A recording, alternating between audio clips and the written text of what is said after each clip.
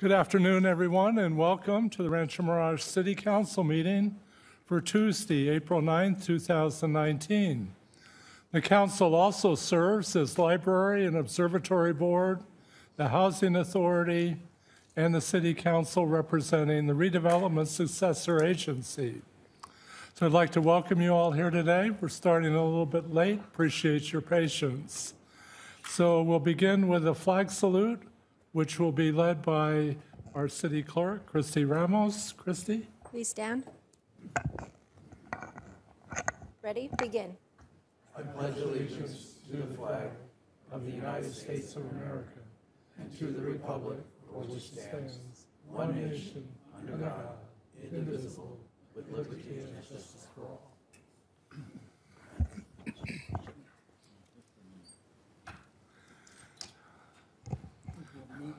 Well, Kristie, you did such a good job there. We'll let you do roll call. Thank you. Councilmember Hobart? Here. Councilmember Townsend? Here. Councilmember Weill? Here. Mayor Pro Tem Smotrich? And Mayor Kite. Here, thank you very much. And today we have the pleasure of having representation from the Palm Desert Charter Middle School. And would you guys like to come up and uh, come to the podium? And tell us why you're here? Um, good afternoon. Pull the mic down a little bit towards you. Yeah, that's good. Good afternoon. We are students from Palm Desert Charter Middle School, and we are here to say thank you to you guys for your continued support and donation to our annual eighth grade trip to the Museum of Tolerance in LA. We want to share with you our personal impact from the trip and then show you a short highlight film that encompasses our entire unit, leading up to the trip, the trip itself, and the follow up. My name is Haley Hayes, and I believe the Museum of Tolerance was an overall amazing and eye opening experience, although it was very different from my initial expectations. I had anticipated the exhibit to be filled with pictures and other artifacts, as well as maybe a few videos to watch. I was very surprised to see how interactive it was and how much it further enhanced my knowledge. I enjoyed the many visuals throughout the museum and how realistic they each were. They truly expressed how difficult it was for them during this time period and gave direct insight of what they went through. My name is Maya Morel, and I believe that the trip to the Museum of Tolerance gave me a realization of how difficult it was to live during this time period. Before we learned about it, I knew about the Holocaust, but hardly anything about it. Now that I have had the opportunity to go on this trip, I gained more knowledge about it. I enjoyed all the different interactive parts of the museum because it held my attention. The overall trip to the museum was sad, but very informative, and I am therefore grateful for the experience. Thank you again for your continued support and financial donation to make this experience possible for the entire eighth grade trip at Palm Desert Charter Middle School. Thank you, girls. Any questions? Thank you. You want to come back up? There might be some questions about your trip. The video. Pardon me? Play the video. How much time did you spend at the uh, museum? Um, the tour was like two Yeah, hours. it was like two or two. it was and a like half two hours, yeah. and they took us through the different like rooms. You saw things you'd never seen before? No, it was like really cool. They had like all these different like stations, and then they like played something, and then it like followed to the next station, and you kept going. What you might take from that is that um, uh, on your spare time in school, um, do a little bit of studying, a little bit of research on the Holocaust era. It's uh, one of the most dramatic uh, periods of time in the history of the country and history of the world. Yeah. Yeah, we did a lot of studying before about it. We read like different books about it before just to get like, re- or just a little knowledge before, so it was easier to understand like when we went on the trip too, which was cool. Did you guys have a video that you'd like to show? Yeah. Yeah.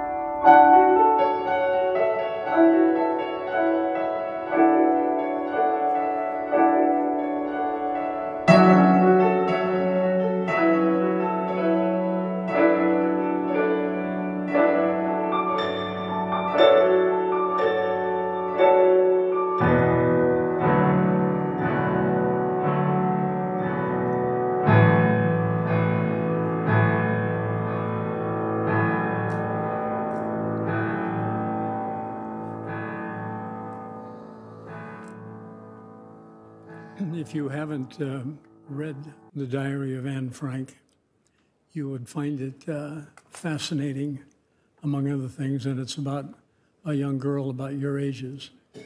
Uh, You might give that a shot, and you'll get an idea of what, what's behind the museum. Okay. One Mr. of the things, Go ahead. girls, you learn, and I'm sure you have been exposed to this, whether at- at the Tolerance Museum here and Rancho Mirage or there, is as you're growing up and as you see things like this, when, there, when you see something wrong, speak up. Don't be afraid. You make your voice heard, and that's how you prevent these from, things from happening. Thank you for being here. Thank you. Thank you. And also, I would like to say that I'm so thrilled that you were able to attend and see what really happened because there are so many people now throughout the world who are saying it never happened, that those pictures were all made up, and that there was never anything so horrific because people can't do that to each other. So now you have a new responsibility. You are the new storytellers. Thank you. Thank you very much again for being here and, and doing the presentation with the video. Very moving. Thank you for having us.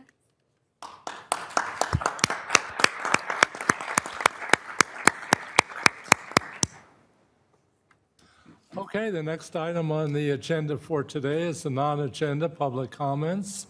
And this is an opportunity for the public to speak on issues that are not on the agenda. And we would hope that you would uh, leave them at about three minutes per speaker. So uh, today, the first speaker I have is Brad Anderson. Brad?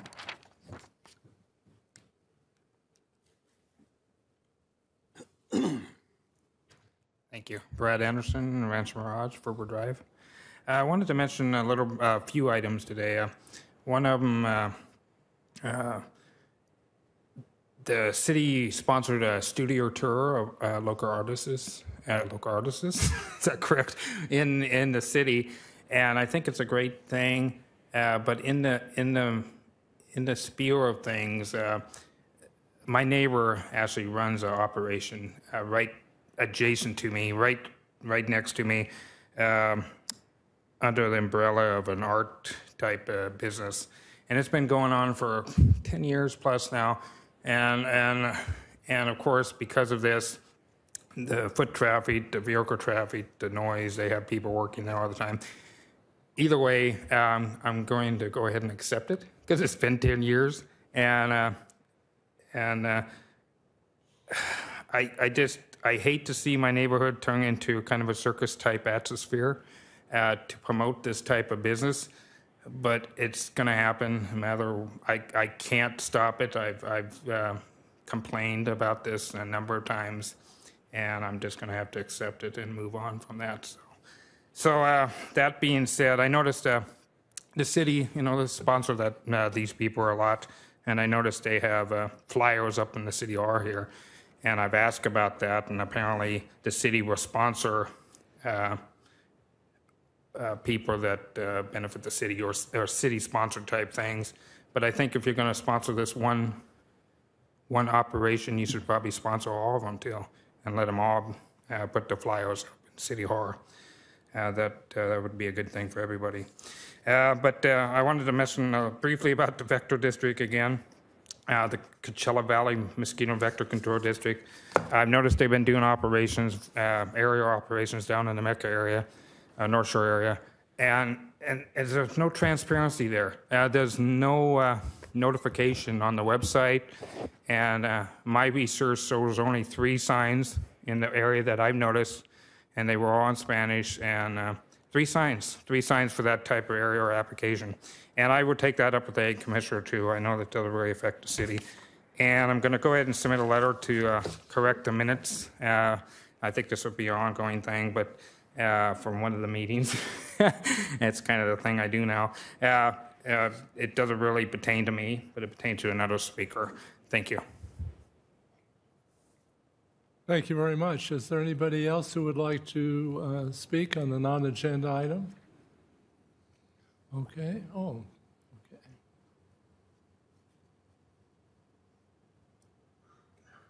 Could you give your name and address, please?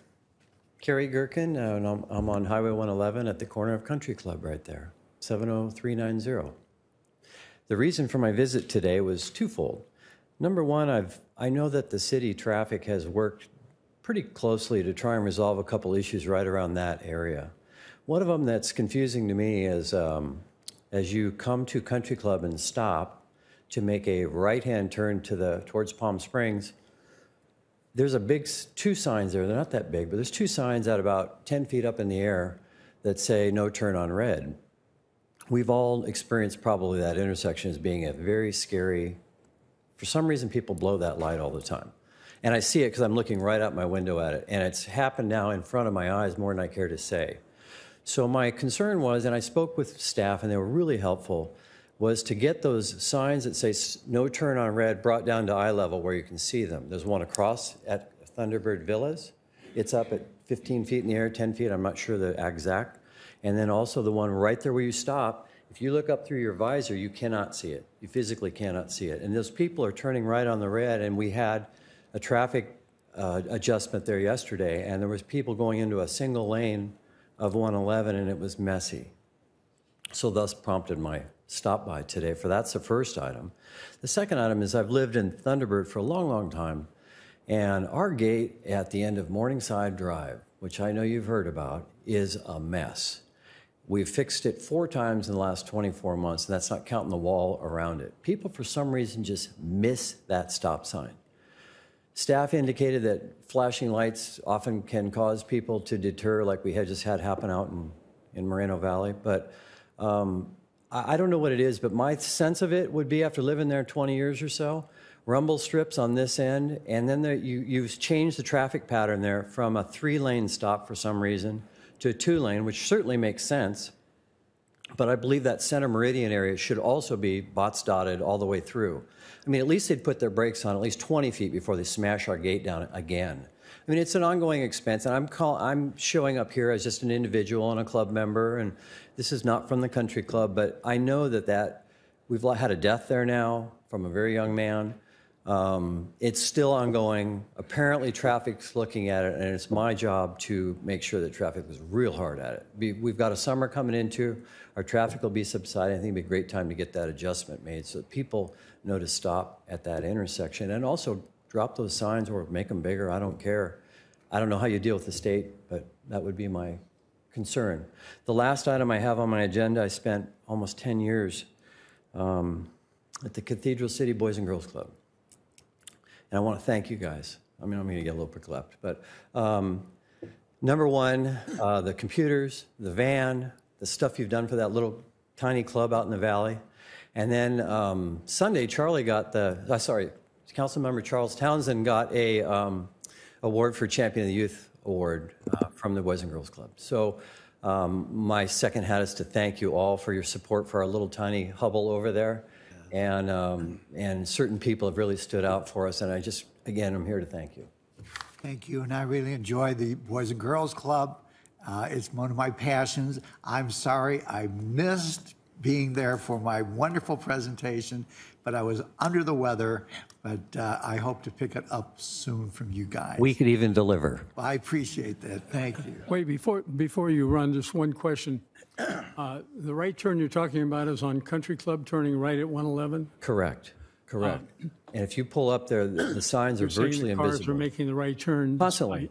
The uh, motor officer could sit there on a motorcycle and make money all day long. I mean, thousands of dollars all day long. What day do you long. think, what do you think a sign that said, your stop is being videoed uh, would do? Something like that, two or three words that said, we're taking, we're. I don't think they see it. I really don't think they see it. I mean, I've seen our Rancho Mirage PD sit over in our bank building over there in the canopy, and I mean, they're they're just they're just plucking chickens. I mean, Yeah, I- all day long. I concur with you. Uh, I've been at that stop sign, uh, second in line, and the car in front of me generally always makes a right turn through the red. Or they honk it from behind you to go. Yeah. against the red light. But my thinking is I'm kind of frugal. I think if tho- both those signs were to be dropped, or a larger sign, at literally, think about where you're at at eye level on that, um, whatever that thing for the crosswalk is. If you brought it down pretty close to that, I don't know how it works with all the traffic patterns, but you'd see it. I just don't think people see it as my perception. Yeah, I think the eye level would make a big difference. Well, if you look at the angle, you can't see it if your visor's down. You can't see those Yeah, signs. I agree with that. Thank you again for your attention, Charlie. Thank you. Thank you. You want to say anything on that? Uh, So, Mr. Mayor, members of the council, uh, on those two issues, uh, Jesse is looking at uh, the signage for the no right turn onto 111. And then uh, Morningside and Country Club, uh, there have been numerous accidents uh, where people are blowing that stop sign. Uh, The vast majority of them are DUI drivers. Um, And so we did one round of traffic control measures. We've still had accidents. Uh, So we are working with our traffic safety committee to uh, figure out a way to alert drivers that there's a stop coming.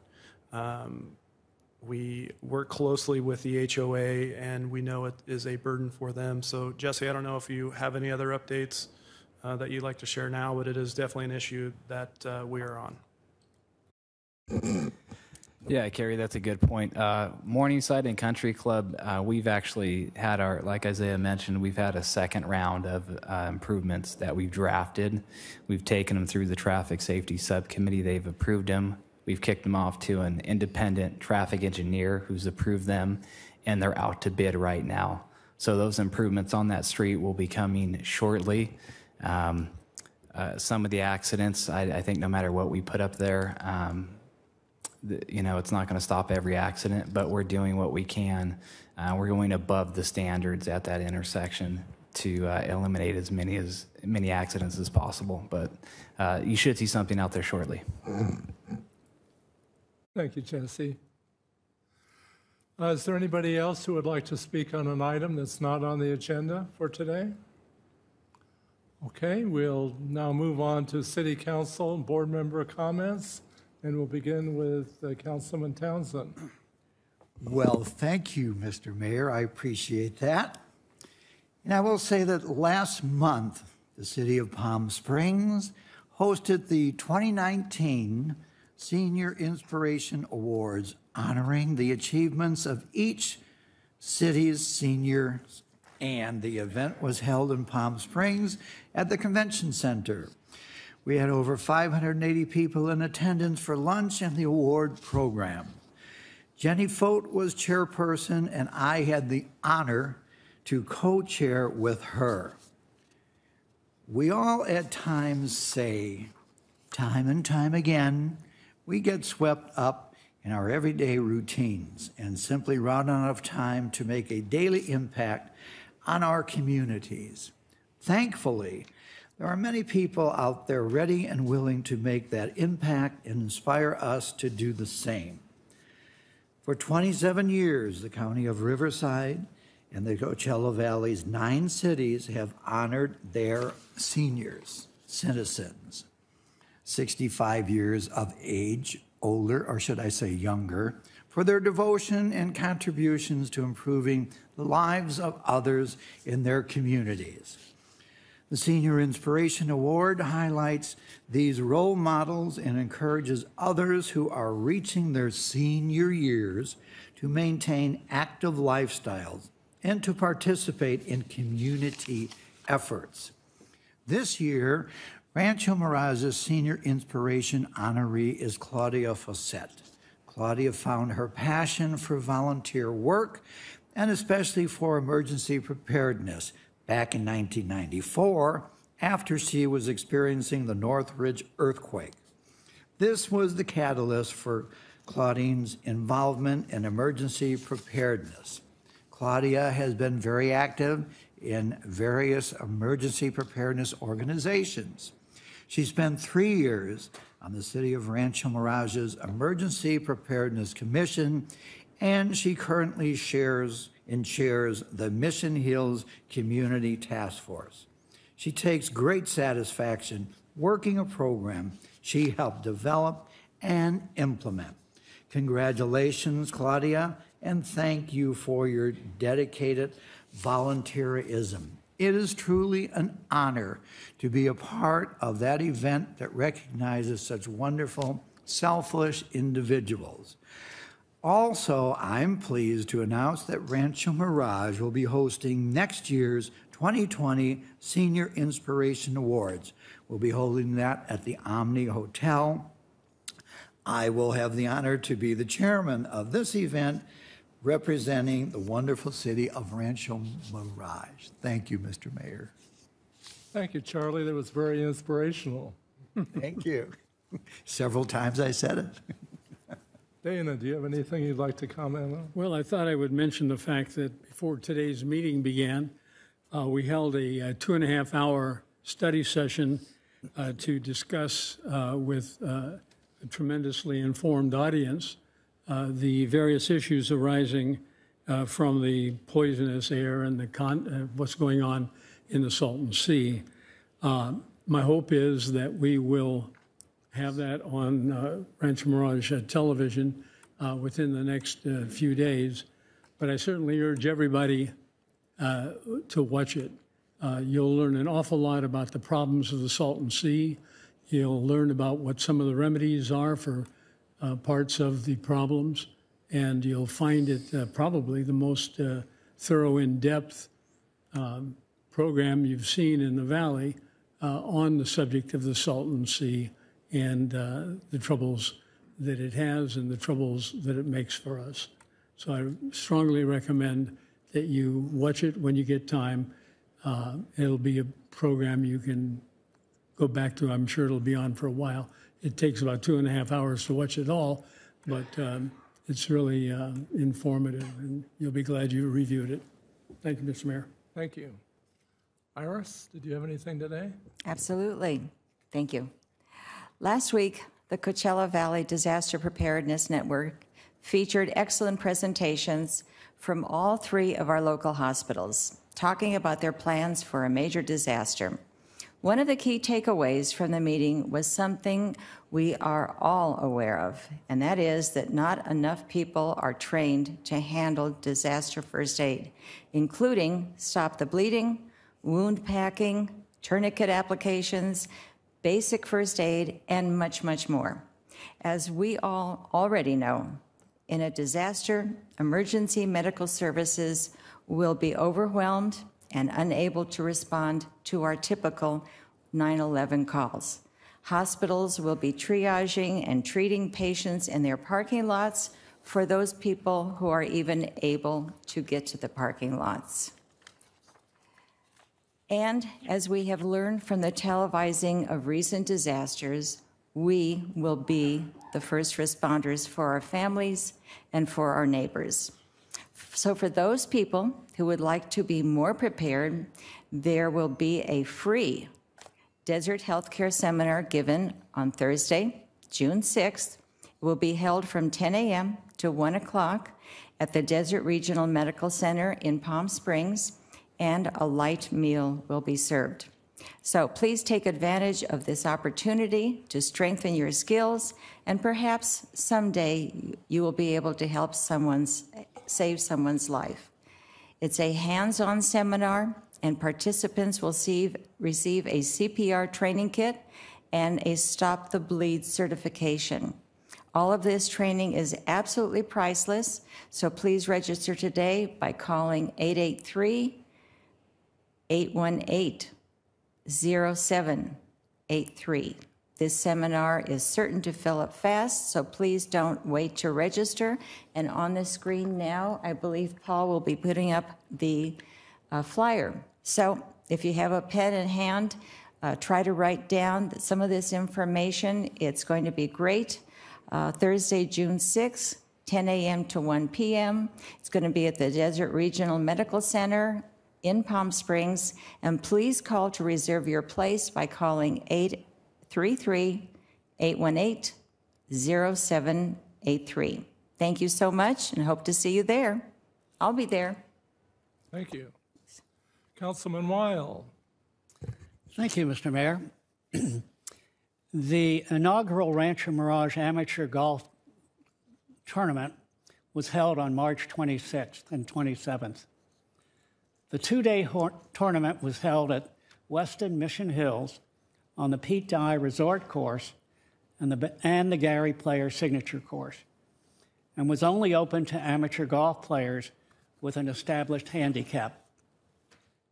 An outstanding 50 amateur golfers from throughout the Southern California area attended to compete against one another.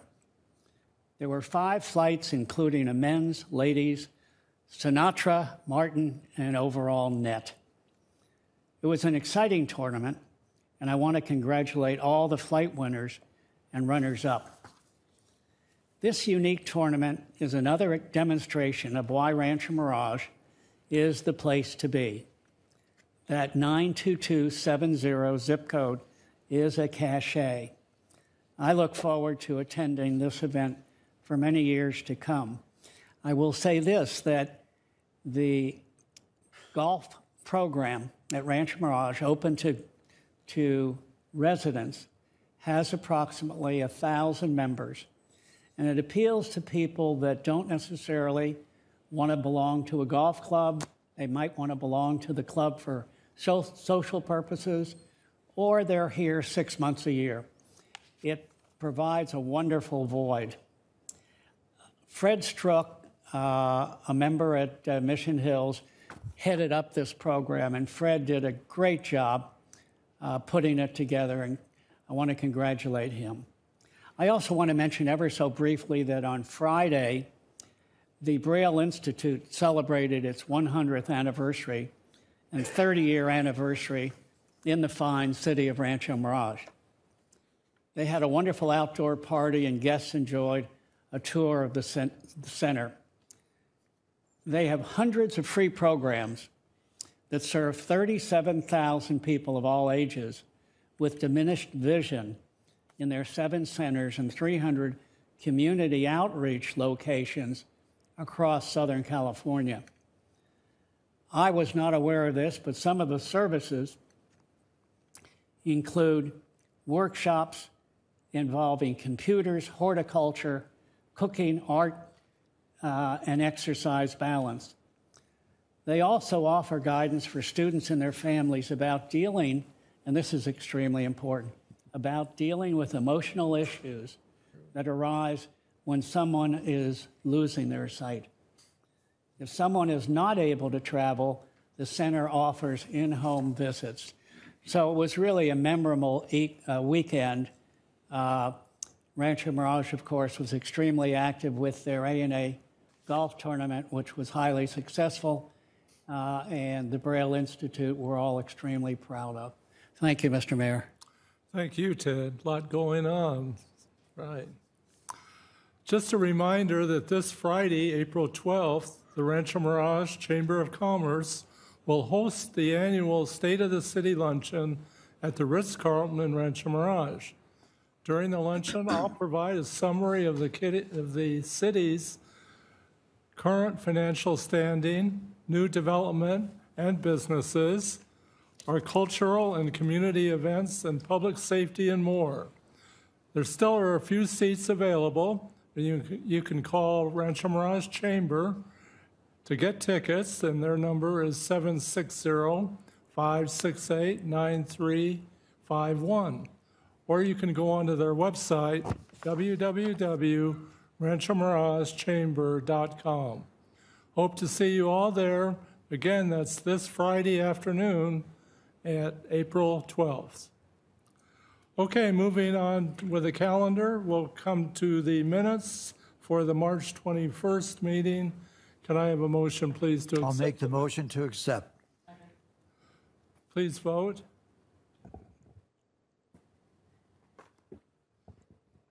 Did you get my vote? Hold on one moment. Where's the, I there, have to start over. There you go. got it? Okay. Yes. Motion carries five zero. Thank you. Okay, the next item is the consent calendar, and the consent calendar will be introduced by Isaiah Hagerman, City Manager. Isaiah. Thank you, Mr. Mayor, members of the City Council. You have five items on your consent calendar for consideration. Item number one is to waive the full reading of all ordinances introduced or adopted pursuant to this agenda. Item number two is to adopt ordinance number 1148, zoning text amendment case number ZTA 19001, amending chapters 17.08 and 17.30 of the Ranch Mirage Municipal Code to comply with state law. Item number three is the second extension of completion date for parcel map 36913 uh, Magnesia Falls Plaza. This is the office uh, building complex behind the Rancho Las Palmas Shopping Center. They are halfway done. Uh, If approved, this would give them an extension of time to November 7th, 2019. Item number four is a receive and file report of the emergency work that was uh, completed by staff on Frank Sinatra Drive and Country Club Drive. I would like to uh, thank our Public Works staff uh, for their great work, both immediately after uh, the flood and the work that they did to get it repaired. Um, under our emergency work ordinance, uh, they could have just gone out and had somebody do it right away. Uh, However, since we still had our road open and we were just missing one lane, they slowed down a little bit. They um, drafted the plans in-house, and they still went through a version of a bidding process uh, to help save the city some money during this emergency work. And the work uh, should be completed within a couple weeks. Thank you, Public Works. And item number five are demands, and we are here to answer any questions. Okay, thank you very much. Are there any questions on the consent calendar?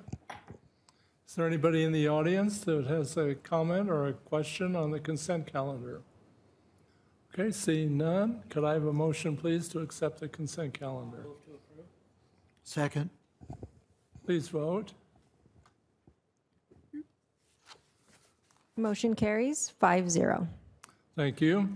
We'll now move on to item number six on the agenda, which is the observatory update by Aaron Espinoza, the library director, also director of the observatory.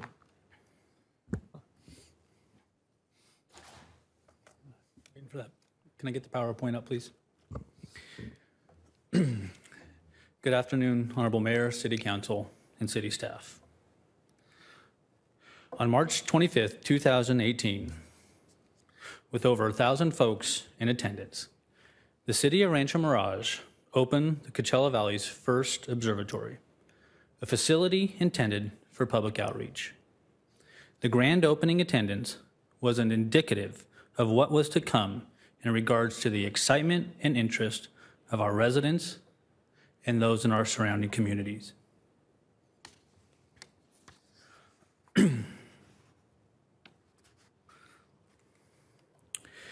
Today, we stand before you as a proud staff, leading the direction of the Rancho Mirage Observatory. As the operations manager at the library during the planning, design, and construction of the observatory, I was very excited by the possibilities of our observatory was going to bring to the Coachella Valley and our surrounding communities. As many of you know, I like to plan for all scenarios. Well, let me tell you, I have been overwhelmed by the level of excitement and interest of the observatory. Before I continue to talk about the successes of our first year, I want to take a moment to recognize you, our City Council, and all of our amazing staff. It was with your vision and continued support to build a state-of-the-art observatory right next to our library and to expand the library's mission of lifelong learning. Our staff at the library and observatory get the opportunity to be part of, as well as a face of, the observatory to our residents. When many of our, what many of our residents and visitors do not see is the hard work that went into the planning, marketing, and the continued maintenance of our observatory. To our city manager and to those city staff sitting on the dais, please accept our many thanks for your continued support and all that you do and your staff does to make our observatory thrive and to be recognized as it, for the truly amazing asset it is to the city and to the Coachella Valley. We have received many calls and emails and had, have had in person numerous conversations expressing gratitude for the vision it took to build the observatory. The Rancho Mirage Observatory is being recognized around the nation as one of the best new attractions. In addition to being named Best Tourist Attraction in California by MSN.com, the observatory was a finalist for USA Today's Best New Attraction in the nation. The observatory has also received two awards from the American Public Works Association. First was the 2017 2018 Project of Merit in the Creative and Innovative category from the American or APWA's Coachella Valley branch. Second was the 2018 BEST Award in the Buildings category through the APWA's Southern California chapter. BEST stands for Building Excellence Shaping Tomorrow. The list of organizations that have done stories or other media spots on the observatory keeps growing by the month. In addition to print media, the observatory was subject to the Chill Chaser program produced by the CVB. And coming up in July, the observatory will be part of the PBS program Ancient Skies. The accolades from the media and from our community partners is quite welcomed. But it is our residents and attendees we love to hear from the most. The observatory was conceived and built with the intention of providing the community with a research grade facility, but free for public outreach. One program that we started with the generous support of the Anderson Children's Foundation is Connecting Children to the Stars. The program was created to bring students from the Coachella Valley to explore the library and observatory. To date, we have served over 750 children from seven different schools, with an additional 1,000 students expected to be served by the end of June. We are working with the three Valley school districts, as well as private schools and homeschooled students to ensure every student gets the opportunity to come tour and learn about the Rancho Mirage Library and Observatory. The Connecting Children to the Stars attendance is but a portion of those that, who have attended observatory-related programs. From tours to the observatory, to film screenings, to stargazing parties, to our original lectures, our attendance has been astonishing. In the first year of operation, the Rancho Mirage Observatory total attendance has been 13,699. That is an average of 1,142 people attending each month. We are very pleased with our attendance at the observatory, but by no means do we intend to rest on our laurels. I will now call on Eric McLaughlin, our city's first, city, or first astronomer and person responsible for the operation and programming at the observatory, to discuss several new items and programs we are working on. Thank you, Aaron. And uh, I want to make sure I take a moment to give a personal thank you to all of you uh, for a wonderful first year of the observatory and personally my first year working with the city. Eric, excuse me one second. Eric. Can we get him on screen? There we go. all right. But yes, uh, I want to again say thank you for a wonderful first year working here with the city. Uh, it has been uh, more than I could have imagined, and it has been a phenomenal journey working with this wonderful community and everyone who comes to the observatory. So, uh, with that said, I want to talk about a few of the things that are actually uh, nice and noticeable uh, of what we're working on here. First, I want to start by highlighting a few new pieces of equipment we're working with right now. Uh, on the screen here, you can actually see on the left side of the screen, this is a very new system. We are in the process of upgrading the telescope's imaging system from a singular camera to a three camera system uh, using what is called a Perseus port.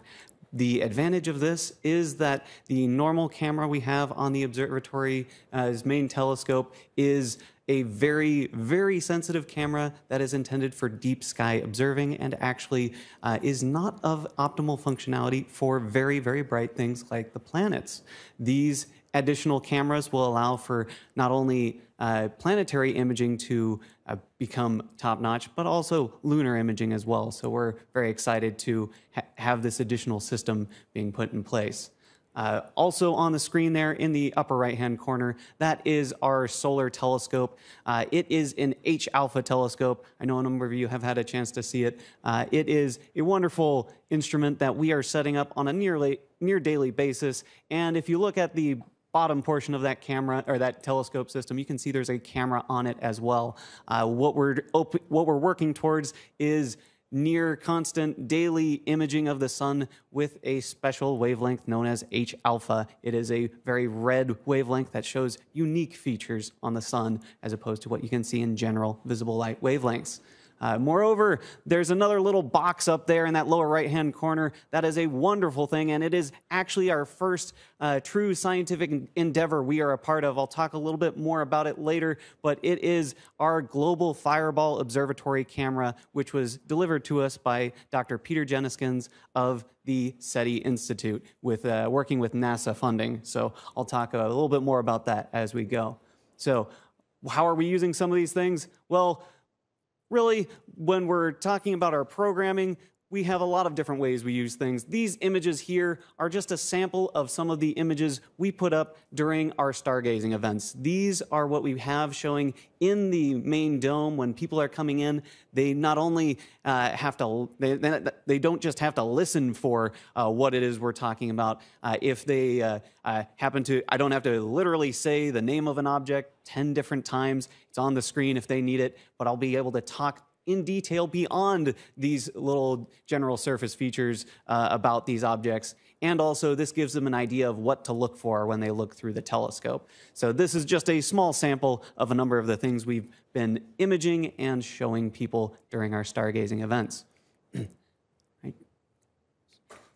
All right, so back to the Global Fireball Observatory camera. This image, this set of images was from a couple of days ago, or rather a couple of nights ago. Uh, these are images of the first bright meteor detection by the uh, Global Fireball Observatory camera. You can actually see in that image on the right that it actually, or sorry, on the left, uh, that it actually is currently set up in the middle of our deck. We're working with uh, uh, with the with Public Works to actually find a good uh, permanent mounting position for it. But nonetheless, it's already producing good science as the these images show.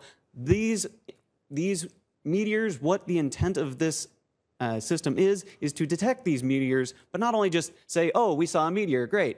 No, the intent is to actually view these meteors from multiple sites. The reason why Dr. Jenniskens reached out to us is because we were in a good position to actually uh, complete a network throughout Southern California, which includes uh, other camera sites in uh, Beverly Hills and El Cajon down near San Diego.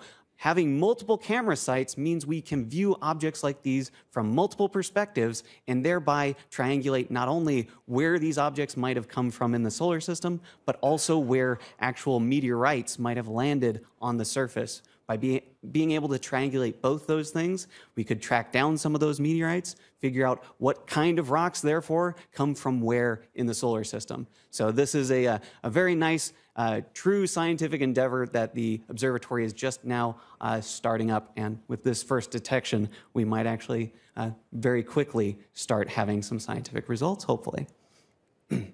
Now, going back to our solar telescope, it provides a number of different views. And while this is a, uh, a video here, before it plays, I want to point out some things this is, again, a video format, and as such, it doesn't quite show all the nice little details that we can see, but it was fun to show this particular video because this is a video of what sunset looks like through our solar telescope. And I'll go ahead and start it now. You can actually see as it passes through the uh, through uh, the field of view, the mountains uh, near the observatory actually block out our view from the sun. Notably, you might say, oh, those mountains looked a little fuzzy. There's a good reason for that. We're looking through a telescope, and those mountains are nearby. I am very excited for when we are actually going to see sunsets setting closer towards Mount San Jacinto. That will be further out, so that blurriness you're seeing is actually a depth of field thing here. As the horizon on which the sun sets moves back towards summer uh, areas from our perspective, I'm anticipating clearer horizons. And I am still very hopeful, though, that on occasion, maybe since that area is in the reserve, maybe some point we'll get a nice bighorn sheep right in the image as the uh, sun's setting behind it. So it's a wonderful piece of equipment, and we've had a lot of great responses from people. Uh, and it's one system that hopefully will get set up to actually have live images showing up inside the observatory throughout the day. So that is one thing we're really working towards, and we've made a lot of great progress on thus far. All right. Okay, there we are. All right, so uh, finally, one big thing uh, we're ready to actually note on is that uh, you, a number of you have already seen this system, but we're in the uh, process now of setting up a, uh, a more finalizing the scope of services with our contractor and uh, people we're working with for our projection mapping system. The projection mapping system, uh, we'll go ahead and start that up. A number of you, of course, already got a chance to see this. This is something that will allow us to use the observatory in a wonderful new way, a way of actually being able to have people in the room during the day still able to learn more than just what can be shown on a little screen or of the telescope. This will allow us to explore the universe with people throughout the day, and this is something we want to work into other programs. We've already talked about the Connecting Children to the Stars program. This, uh, when it's set up in its final form, would be something that could be potentially integrated directly into that. All right, I'm going to go ahead and hand it back over to Aaron here.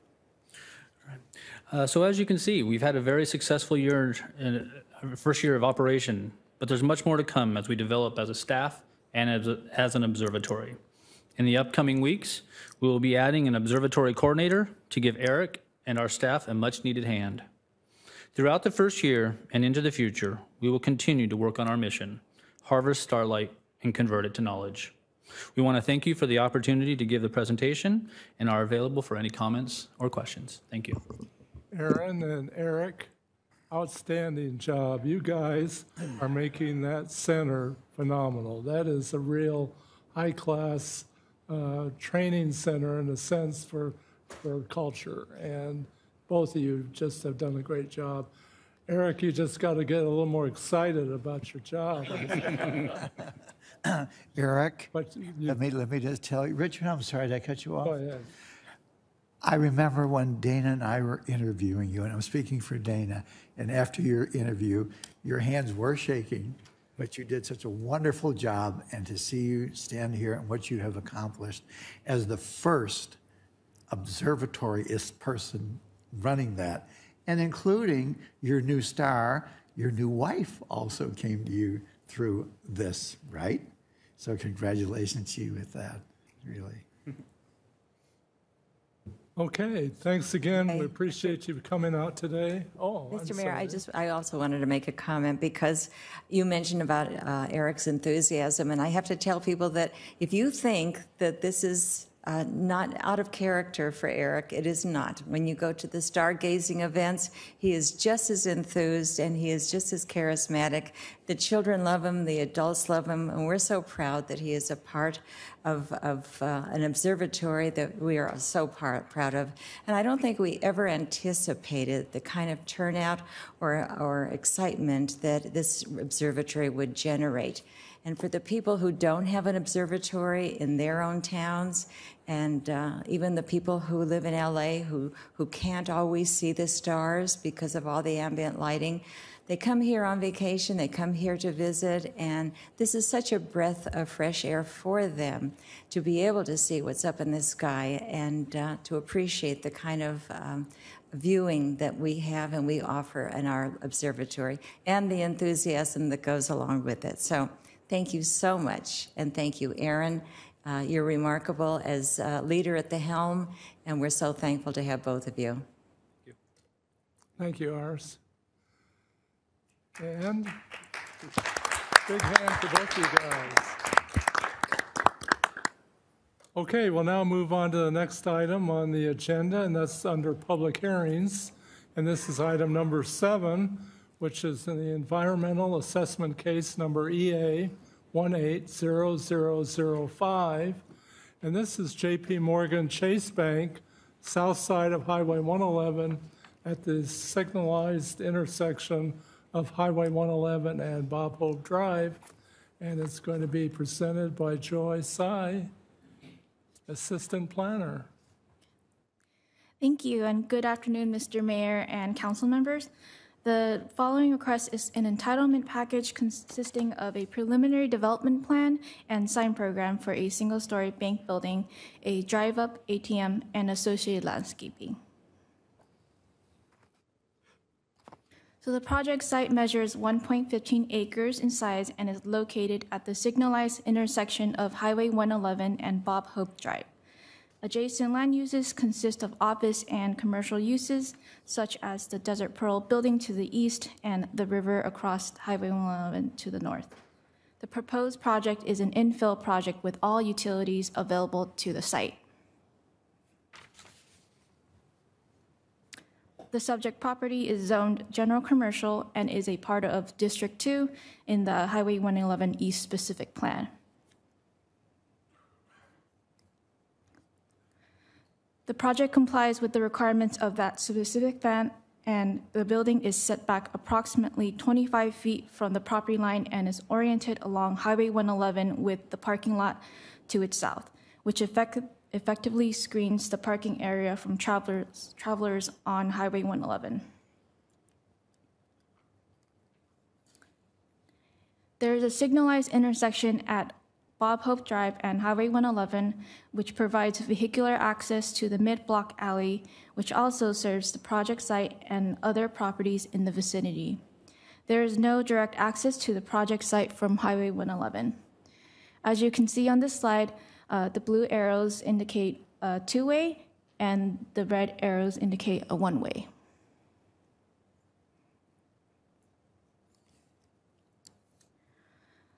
The overall height of the building is approximately 23 feet, which is under the maximum permitted height of 35 feet. The building has been designed to allow for mechanical equipment on the roof to be screened. The north and east elevations include an overhang, which will provide additional opportunities for shade.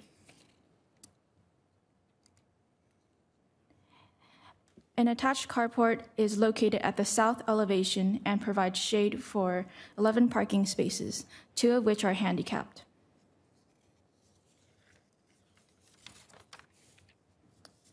The building has been designed in a contemporary style in desert tones with an elevated level of architecture. The use of composite wood panels, metal composite panels, and stone veneer provide additional interest and texture to the building. Hmm. The applicant is also proposing a drive-up ATM sheltered by a 10-foot tall canopy in a protected landscape aisle in the parking lot. This will be screened from travelers on Highway 111 by the building.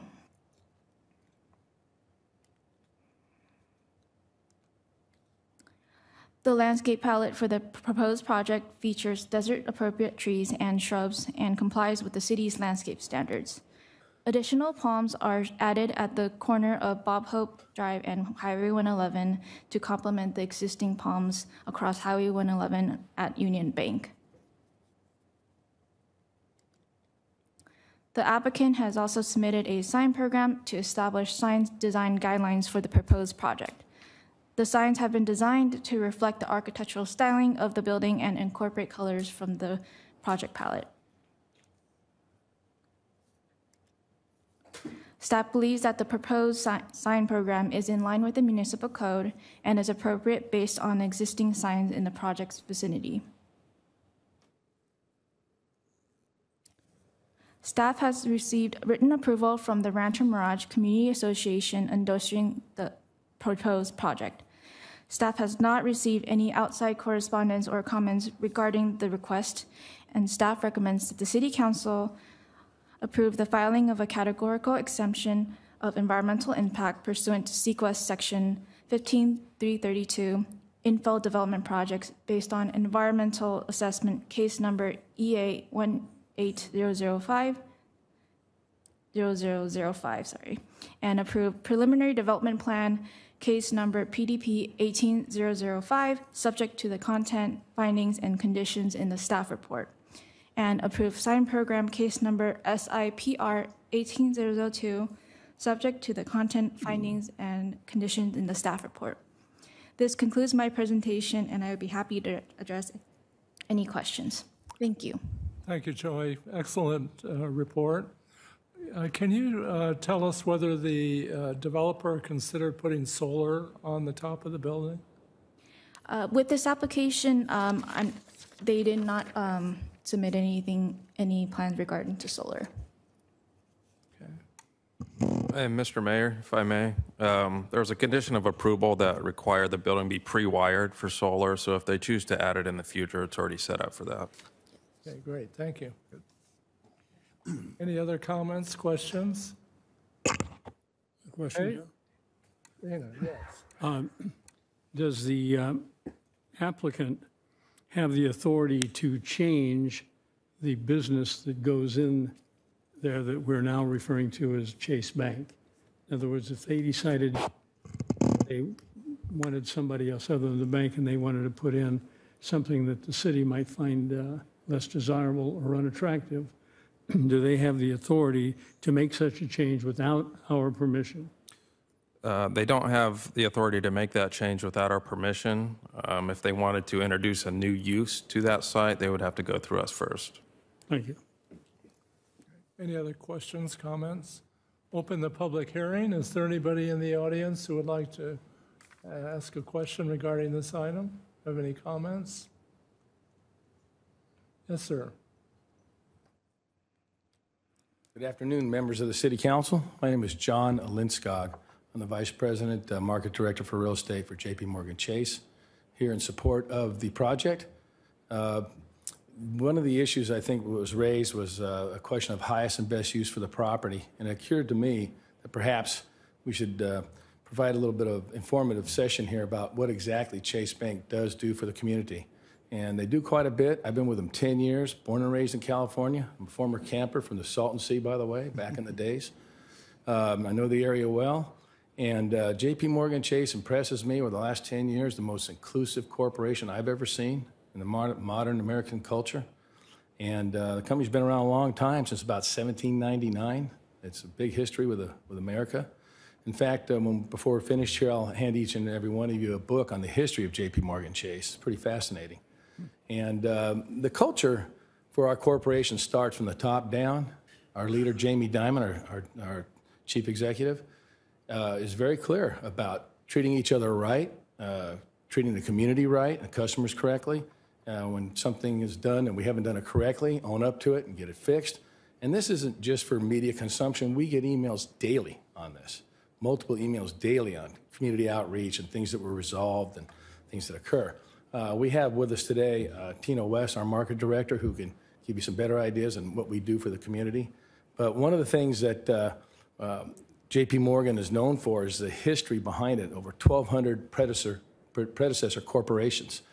And um, it's interesting that uh, back in the 1804, you guys might remember the commercial on TV with the, uh, the guy eating the peanut butter was going to answer the question about Aaron Burr being involved in that duel way back in the day with Hamilton, and he couldn't get the words out because he was eating the peanut butter. Well, it's interesting that JP Morgan Chase today has those dueling pistols. And uh, it came about, that's one of our predecessor corporations, between Hamilton and Burr. They were involved in a, a charter for a water company back in the day to pro- provide water for New York City. And uh, there was a clause in the charter that allowed any excess funds to go to create a bank. And Hamilton didn't like that. And in 1804, they, they settled that dispute.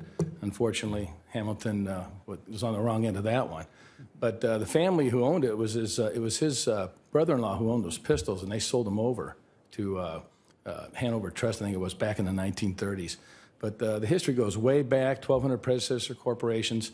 We, the proof that we do well as a, a corporation is based is clearly evident by the fact that when we go into a trade area, we're the new kids on the block. You know, we just came out when the last economic disruption back in what 2008, 2009 took over uh, WAMU, uh, home, uh, home savings, and other banks. And uh, so we are the new kid on the block. And we come in there, and it's amazing to see over the years how deposits have shifted. Uh, Chase has done very well in just about every area we entered. So, on that note, I want to introduce you to Tina West, our market director, and uh, she'll give you some information on what else we do for the community. Thank you. Good afternoon, Mayor, council members. Um, I have some market facts here that I'd like to share with you on our corporate responsibility, um, some of our initiatives that we have done in the community. Um, these facts that I'm about to share are for Riverside County, and then I will also share what we're doing here at a local level for the Coachella Valley. So, one of our initiatives is investing in skills. We have a global uh, workforce readiness initiative that um, we work with employers to help develop talent pipelines needed to compete and provide um, adults and young children with critical support, education, and training to build in demand skills that set, set them aside on stable and rewarding career paths. Um, for Riverside County, under this initiative, we've donated approximately 100,000 to local nonprofits um, to support the workforce readiness program. We also are boosting small business, and through our Small Business Forward initiative, we've made a 75 million commitment over three years to support under, underserved small business owners by connecting them to critical resources that help them grow faster, create jobs, and strengthen local communities. For the County of Riverside, we have donated and contributed 48,000 to local nonprofits in support of the Business De- Development Initiative.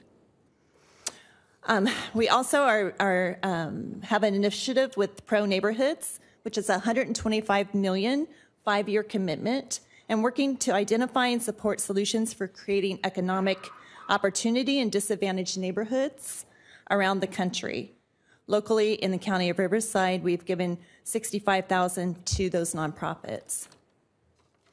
One thing that's near and dear to my heart is the volunteerism um, JP Morgan Chase actively seeks to use the most important asset we have, which is our people and our employees.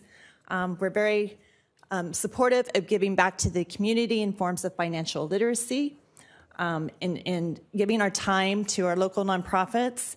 Uh, we specifically partner with Find Food Bank here in the Coachella Valley, in addition with Coachella Valley Rescue Mission, only in, not only in the support of volunteerism, but also financial support as well. We provide financial literacy to all the residents at Coachella Valley Rescue Mission to help support them re-enter the workforce, re-enter, um, you know, find low um, affordable housing, and most importantly, set them up to be financially responsible um, so they can succeed. We also partner with United Way of the Desert, and um, uh, many other local nonprofits, inc- including um, Junior Achievement as well, and that's here in the local community. We are actually attending an event and supporting the veterans and do a lot for our veterans at JP Morgan Chase. And I'm happy to say that we are participating and supporting Carry the Load, which is on May 9th, and I believe we start here and meeting at the um, chamber. So hope that many of you can join us as well in supporting our veterans and and first responders. So thank you. Very good, very good. Do you have a start date for the uh, building yet, when this is approved? I'll know? defer back to John for that Yeah. one. And an opening date, and where are, where are the pistols? They're on. Uh, they're part of our historical collection, apparently. Um, I'm not sure of the opening day. We have people here who can answer that question, and it depends upon when permits are in hand.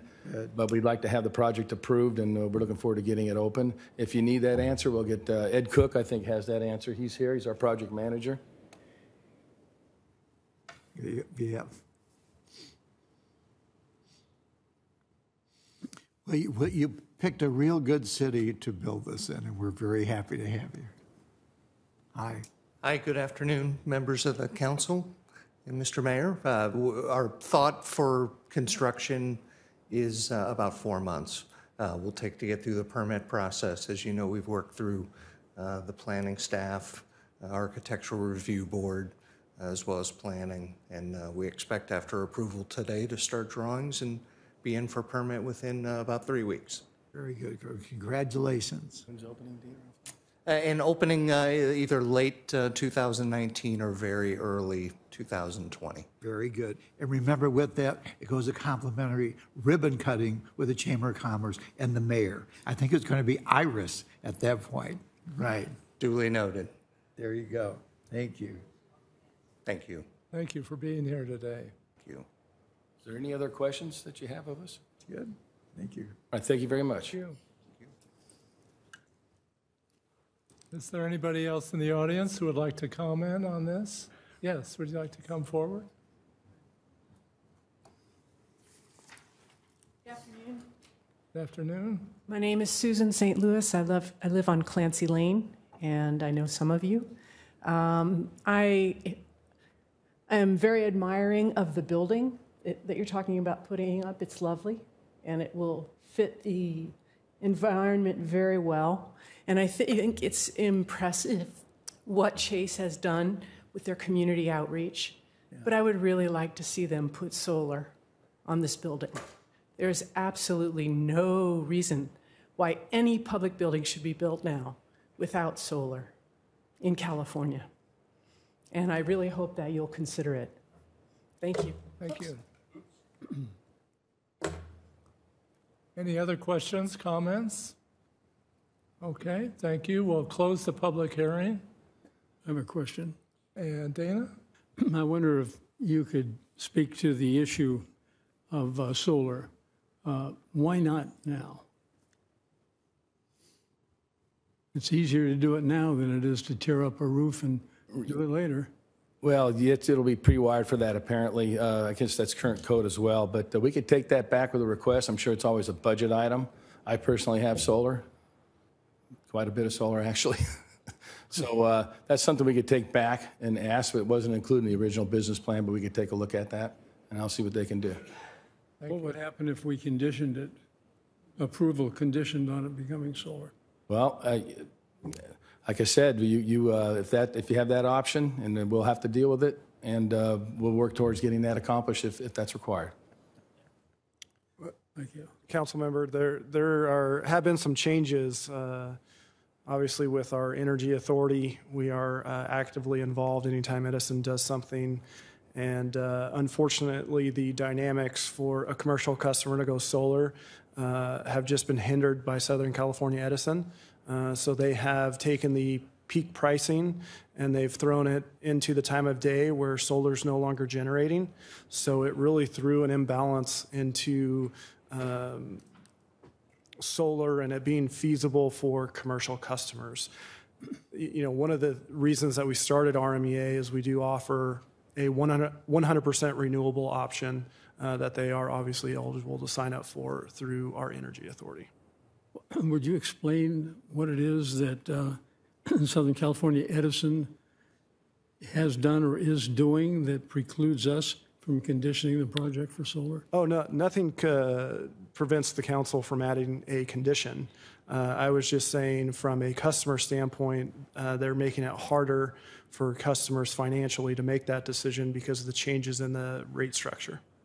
But it would still be more economical than the Edison rates would be, wouldn't it? RMEA would be, but again, you're, you're talking about the dynamics of solar. RMEA is something that they would uh, be eligible for. Yeah.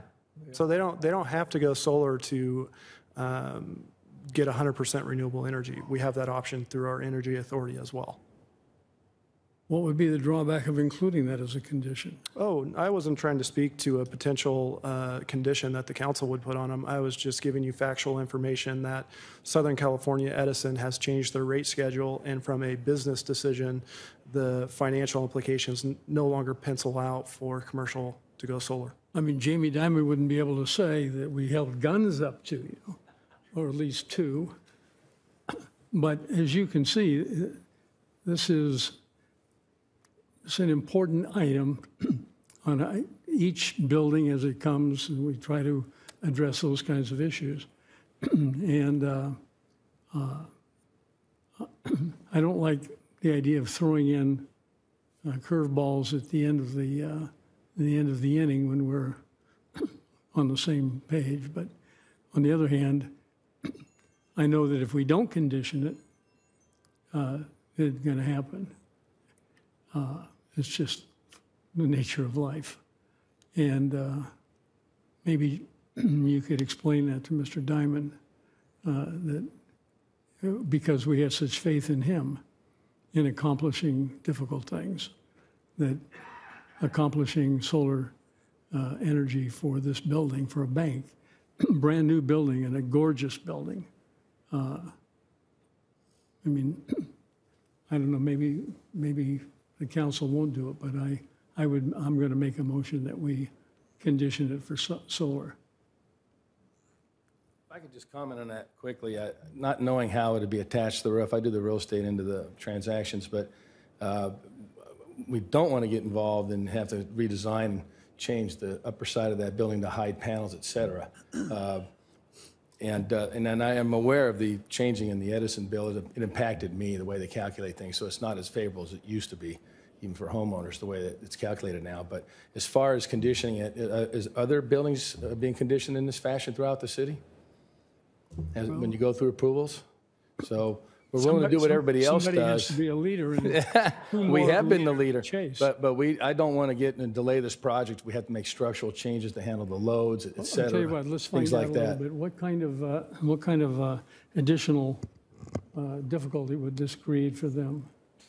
Uh, it's my understanding that there's some amount of parapet wall, and maybe the architect can speak to that, but it, probably wouldn't be that big of a deal to, to hide solar panels up on that roof. Um, I'll turn it over to the experts, but it, it's routinely done even on older buildings in our city.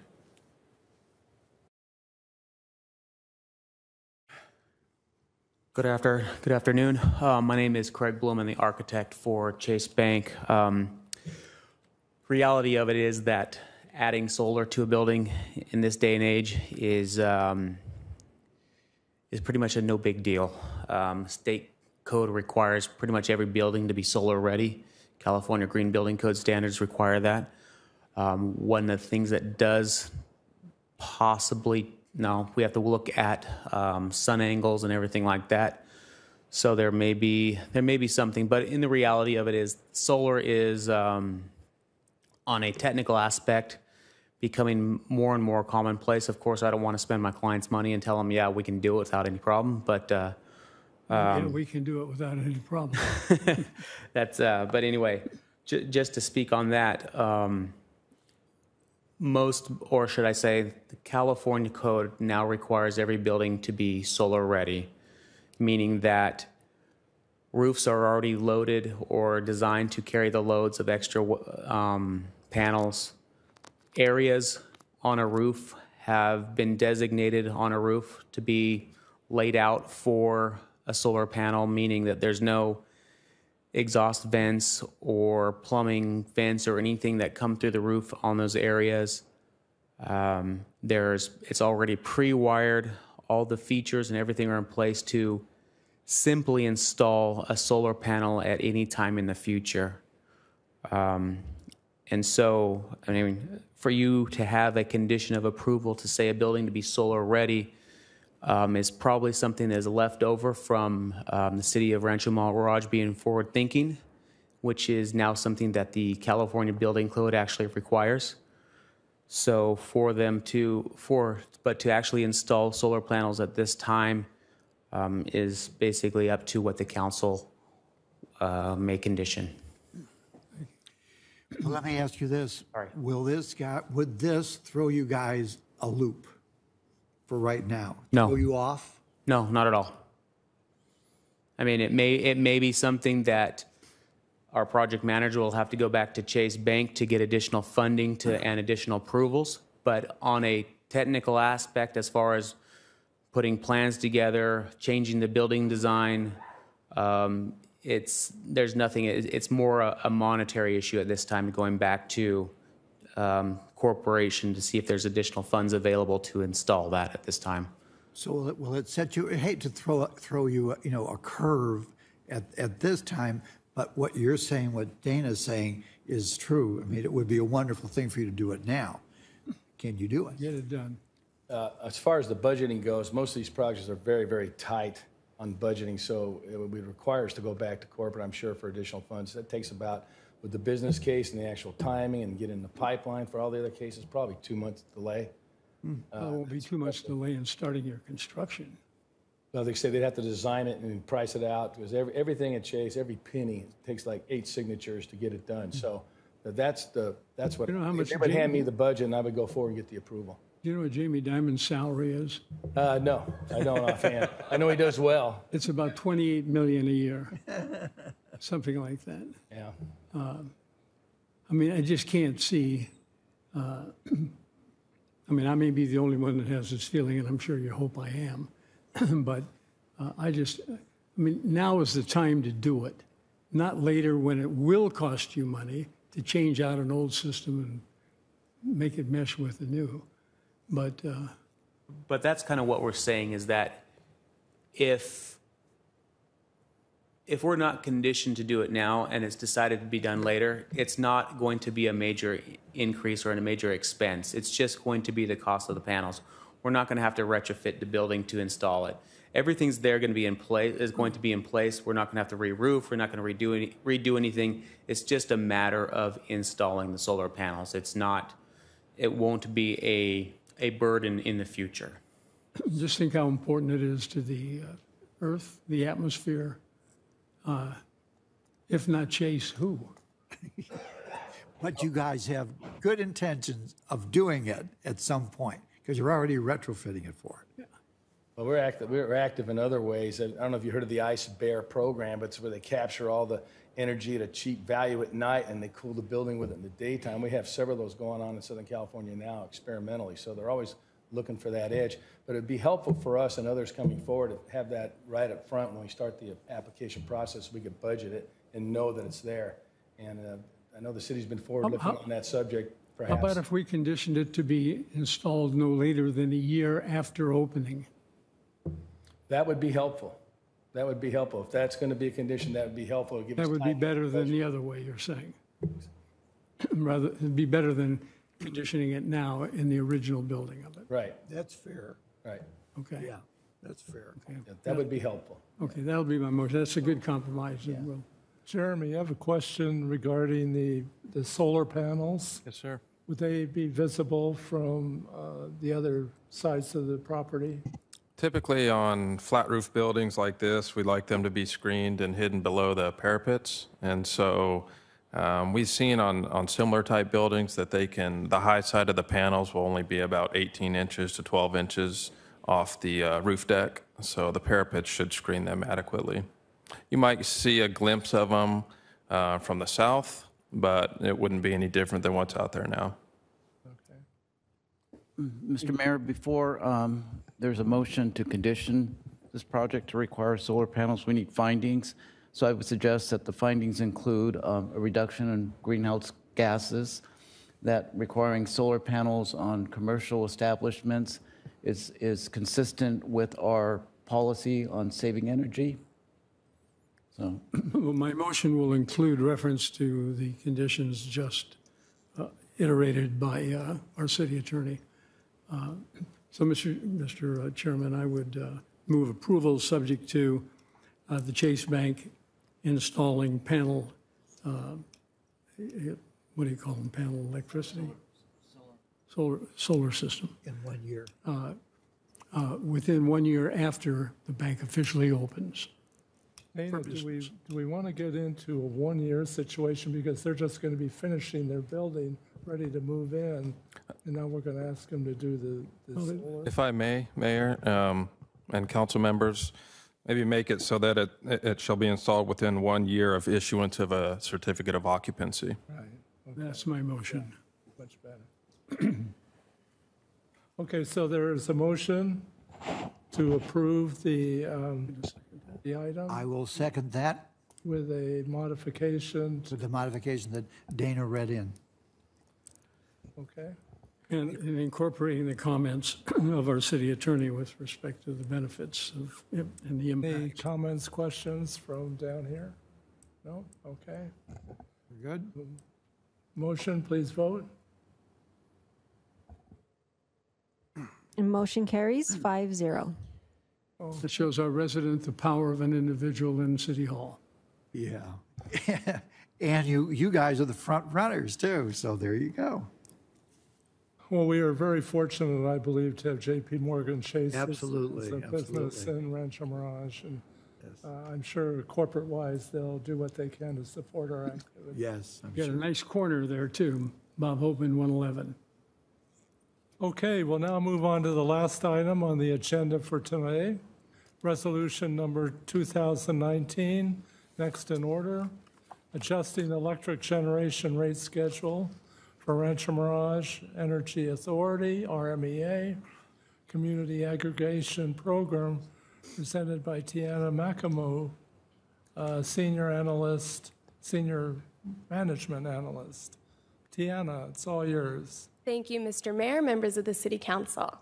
The item I will be discussing today is a resolution approving adjusted electric generation rate schedules for Rancho Mirage Energy Authority, RMEA. As established by the City Council, the mission of RMEA is to provide savings to our customers and reinvest back into the community through energy efficient programs. Since launching in 2018, RMEA has stayed true in accomplishing these missions. First, providing savings to our customers. It was estimated after one year of operations, RMEA would save our community $1.4 million. From May to November 2018, RMEA has saved our community approximately $900,000. Now, this is our savings after just seven months of service. I will be back here soon to give a full one year update. I can confidently say we are well on track to meeting that 1.4 million estimate. The second mission of RMEA is reinvesting back into the community in the form of new energy programs. This has been achieved through the launch of RMEA's residential solar rebate program. The program launched in July 2018, and we are the first and only in the Coachella Valley to offer this unique type of incentive for our residents.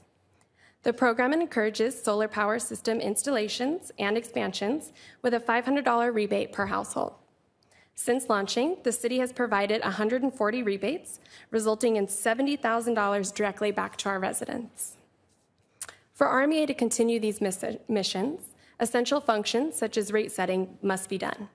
Bringing us to today's item resolution approving adjusted electric rates, excuse me, resolution approving adjusted electric generation rate schedules. During 2018, Southern California Edison, SCE, set their generation rates at a level that did not reflect the current market price of energy. For this reason, SCE has had a 7% increase in the rate change effective April 2019.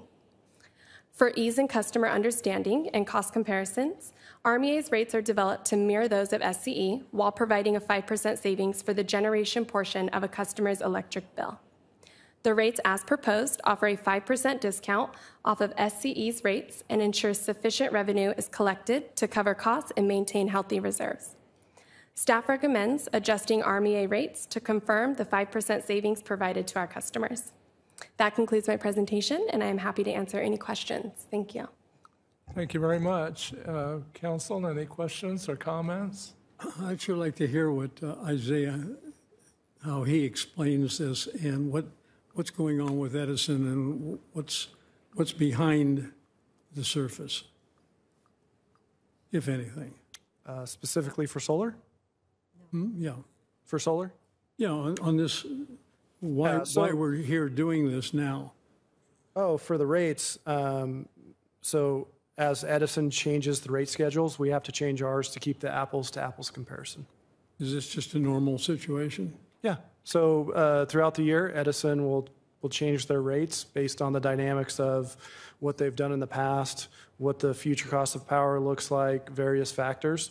And so as they change their rates, we have to mirror that change to uh, provide the 5% savings to our community. So essentially what this rate change does is it reassures the 5% cha- uh, savings to, to our community on their uh, electrical rates. Uh, within these movements, you, you have larger pieces at play. So uh, state law sometimes requires uh, changes. Um, so, at a state level, um, carbon free energy, renewable energy is very important. Um, and part of the dynamics with rooftop solar is uh, specifically in California during certain periods of the year, so the winter and spring, uh, there's actually uh, too much energy on our grid because of all the solar in California. So during the day, there's an abundance of energy that we actually have to get off the grid uh, and ship to other states. Otherwise, we will damage uh, the California system. Uh, and then at night, when none of these systems are producing, that's when the natural gas generators start kicking on because uh, people need energy at night too. So, to recognize uh, the situation that California is in of having too much solar, uh, during certain parts of the year uh, and too much energy on the grid that will damage the grid. Uh, the, the IOUs, the investor owned utilities, have been working with the PUC to say, hey, uh, really peak pricing is no longer in the day because we have so much energy, we actually have to get rid of it. So, what they were able to successfully get through the PUC is a rate change uh, that specifically impacted commercial customers that have solar. Uh, and then in a few years, those same rules will uh, impact residential customers. And essentially, what they did is they threw the peak pricing out of the middle of the day. So if you have a solar system, you invested uh, probably thirty to seventy thousand dollars within that system, and the way that you recoup your money is by eliminating your electric bills. So as you put energy onto the grid, as your system generates electricity and puts that onto the grid, you get a credit of whatever the cost of that power would have been for you taking it off the grid. So by changing the peak pricing to when your system's no longer producing, the credits you're producing from your system are worth less. So it really hurt the dynamic for commercial customers to go solar because now they're you know kicked out the repayment period on their systems much longer and in theory you'll never recover the cost of your solar system. So you know, I, I, think the way that the state is moving is obviously there's a, a new law. I think it's 2020. Any new construction, and uh, after that is going to be mandated rooftop solar. But the utilities are turning around and saying, "All right, who's going to pay for the grid?" So if you're wiping out your whole bill, no one's actually paying for the poles and wires. And if you have solar, you use electricity because when your system is not producing enough electricity, you're pulling off the grid at demand.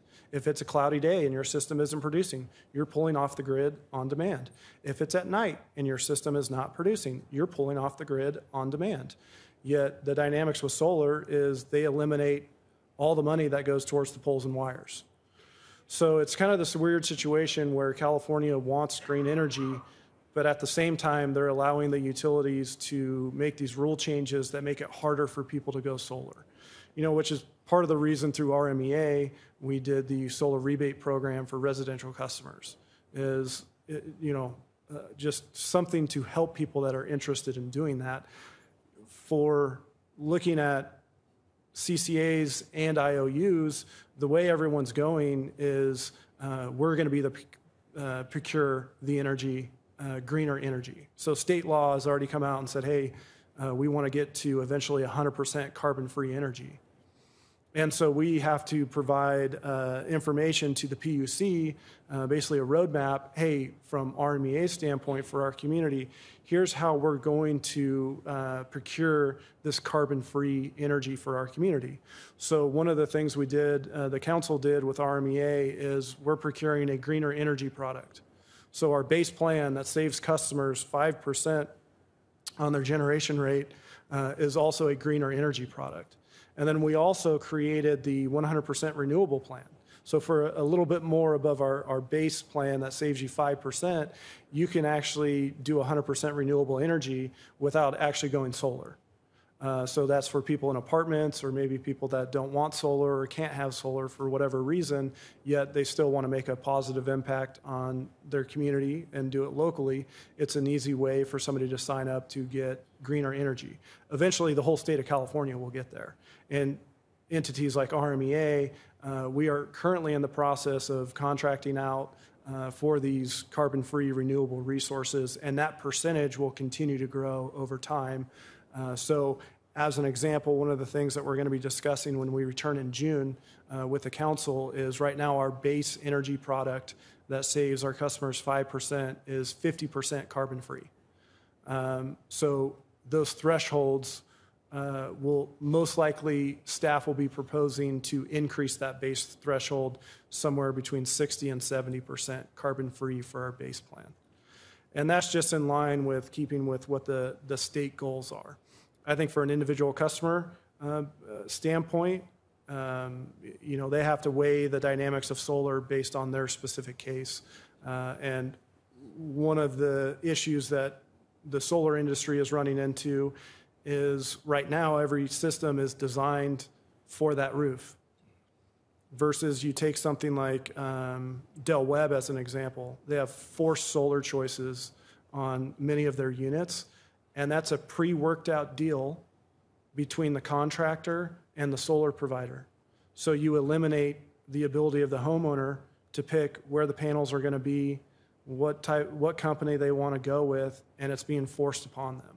So one of the consequences of the state mandating rooftop solar on new construction is you remove the ability for the consumer to pick the type of system they want to have. Maybe they didn't want the panels uh, on the front of their house or on the side of their house, or maybe they would have done a done it a different way to screen them appropriately, or uh, you know, you get into to many factors with these solar installations, and uh, you know, in the future, it'll kind of eliminate the ability to tailor these systems to the specific customer, and it will a lot of times eliminate the customer's choice on the size of the system and how much of the bill it's going to be netting out.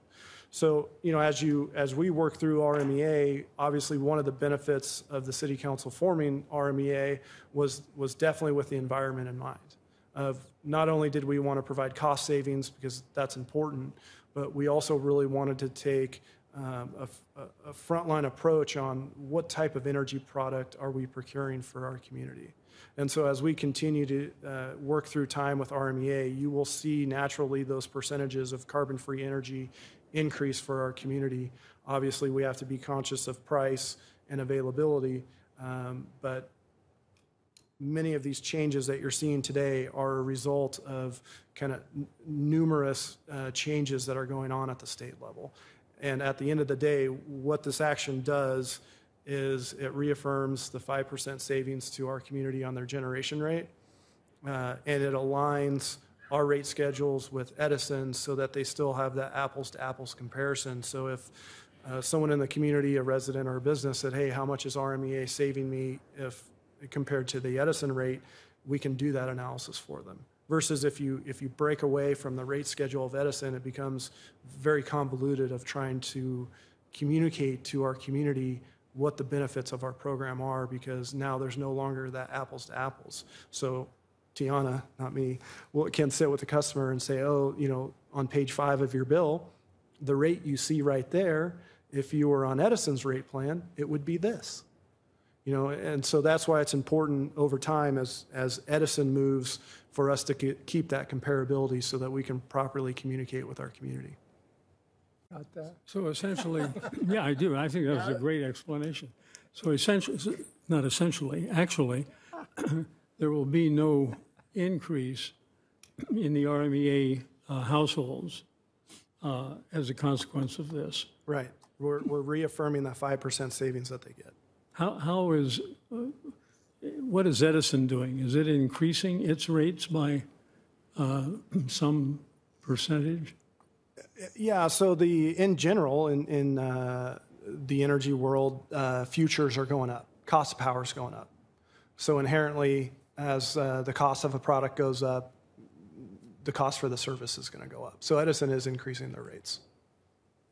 But even though they're increasing their rates, the customer will not see that increase, isn't that right? Customer will always have a 5% savings. Correct. That 5% may be less than it was previously? No, the, the, the 5% stays. Still The 5% stays, but the value of the 5%, is that the same as it was before the change is made? Um, Or is it, does the value of that go up or down? Yeah, so obviously, uh, from a dollar perspective, you have to apply it to the individual customer. So if you get a very large customer, like take one of our resorts, they're going to save from a dollar perspective, you know, over $40,000 in a year because they use a lot of electricity. And last year, they would have saved how much? The same. Same. Okay. You know, from a residential perspective, you don't use as much electricity as those big commercial properties. So, from a dollar standpoint, that savings is less. But at the end of the day, no matter what rate structure you are or how much energy you're using, whatever that number is, you're saving 5% on the generation rate. Thank you. Tiana, the um, subscribers to the RMEA in Rancho Mirage, what, what percentage of those people opted out of the program? We still nearly have 100% of our community participating in RMEA. So the exact percentage is 99% of our community, Wow, which is wonderful. That's great. that's amazing, amazing. Really It's good. down here. I'm just saying, it's- it's an amazing program. And uh, again, all of the staff, and of course Isaiah, who really spearheaded this and just, I think he breathed, sleep, and slept for 24/7 for I don't know how, two years. But you did great. And you will recall that we're the only city in the valley that offers this program. Yes, we are, and done well, too. Okay. What's, All right, so is there anybody, we'll open the public hearing. And if there's anybody who would like to speak on this item, come forward. Okay, we'll close the public hearing. I'll make a motion, Mr. uh, Mr. Mayor, that the City Council adopt resolution number 2019, next in order, adjusting electric generation rate schedule for Rancho Mirage Energy Authority Community Aggregation Program. Please vote.